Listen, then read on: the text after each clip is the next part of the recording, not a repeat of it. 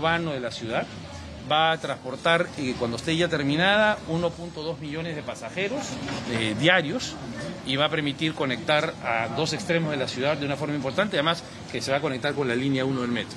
Como ustedes saben, había habido una serie de problemas en relación con los permisos para la construcción de la estación 13, que es en términos operativos la estación central de la línea 2. Buenas tardes, directo en directo. En estos momentos el ministro de Transportes y Comunicaciones, eh, Raúl Pérez, eh, está brindando declaraciones respecto a la construcción de la estación central del Metro 2 de Lima. Escuchamos. La primera es que vamos a eh, plantear desde el Ministerio una propuesta normativa para poder compensar a quienes se han sido afectados como consecuencia del despliegue de la infraestructura y del cierre de una serie de vías que han sido necesarios para poder construir las estaciones, pero que han afectado sin duda una serie de negocios, así que vamos a trabajar esa propuesta normativa conjuntamente. Eh, no, vamos a definir bien cuál es el mecanismo de compensación, porque hay que identificar primero a los afectados. Es justo el trabajo que hemos quedado en hacer conjuntamente. Segundo, es que eh, no se va a cerrar la avenida Garcilaso La Vega, sino va a haber un cierre parcial de unos carriles, pero va a seguir operando la vía y la parte buena es que no va a haber semáforo, con lo cual va a poder fluir el transporte por la avenida Garcilaso La Vega, no se va a cerrar de ninguna forma tampoco el OVA logrado, que es parte del acuerdo.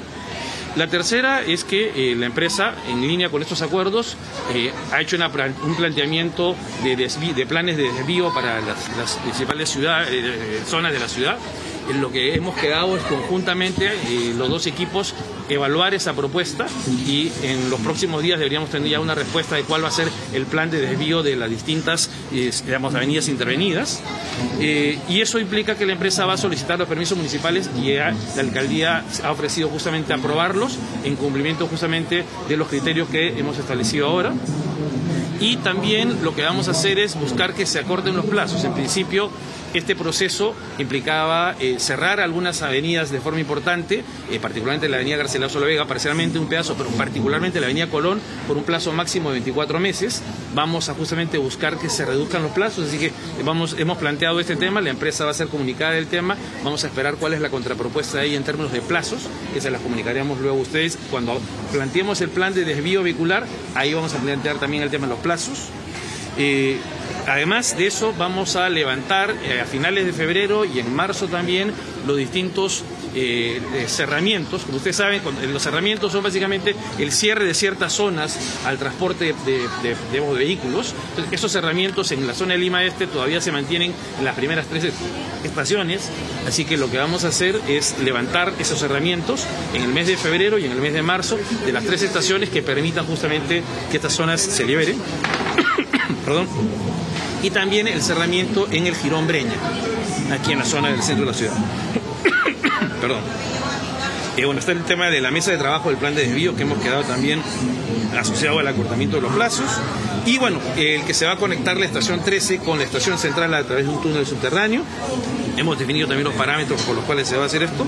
Y bueno, luego hemos conversado de algunos proyectos complementarios con la municipalidad que vamos a trabajar desde la ATU, que tiene que ver con el tema de la aprobación de una serie de vías rápidas metropolitanas, la vía que ya anunció el alcalde en su momento, las vías Guaylas, Vista Nueva, la avenida Javier Prado, la avenida Nicolás Ayón, Tupac Amaru, Prócer Vice y la avenida Universitaria, donde se van a instalar puentes para acelerar también el tráfico de parte de la ciudad.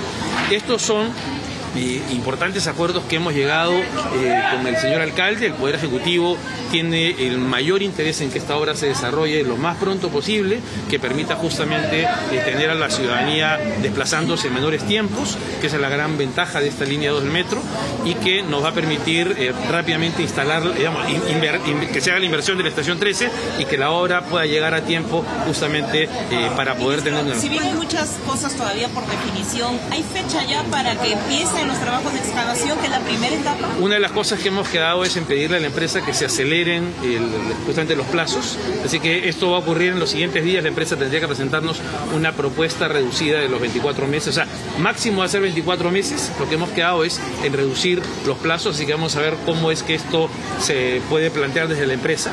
Cuando tengamos esto es que ya vamos a viabilizar los plazos ya de construcción de la estación ¿Pero 3. cuánto podría ser? ¿Primer Esto debería ser, no, el, el inicio tendría que ser en, en las próximas semanas.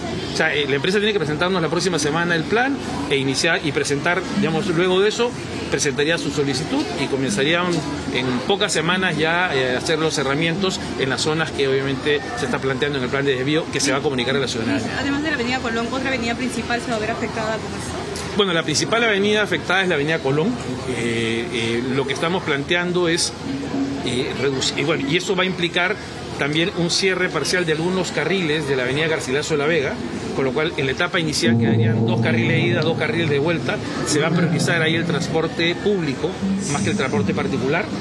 Y eh, lo que iremos es en al mes 7 vamos a ir liberando ya algunas zonas y el mes 11 deberíamos ya tener un pase parcial por la avenida eh, eh, Paseo Colón que permita que igual el transporte público pueda fluir, digamos, sin necesidad de semáforos por esta zona, y hacia el mes 13 ya debería estar esto concluido, de forma tal que eh, queremos ver justamente, plantear junto con el concesionario, la forma de, aumentando el número de turnos de trabajo, reducir esos tiempos. Eso precisamente era la observación del alcalde Rafael López Aliaga. Quiere decir que ya ha llegado a un acuerdo, ha aceptado. Sí, no, hemos llegado a un acuerdo justamente en relación a las distintas medidas que van a permitir viabilizar la construcción de la estación 3. ¿Está de acuerdo Nos, con eso? Sí, no, estamos de acuerdo, digamos que... de Usted- lo que van a ver 24 ustedes en las redes sociales es un comunicado conjunto de ambos ministerios y el ATU también.